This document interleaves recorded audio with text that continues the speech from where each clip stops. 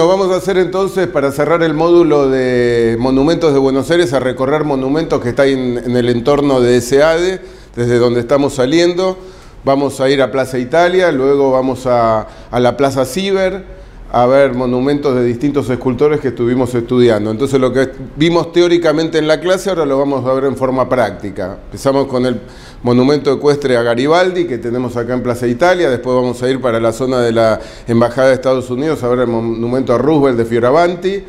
Avanzamos, avanzamos hacia el Rosedal a ver el monumento a Avellaneda, el monumento de los españoles, el monumento a Rosas,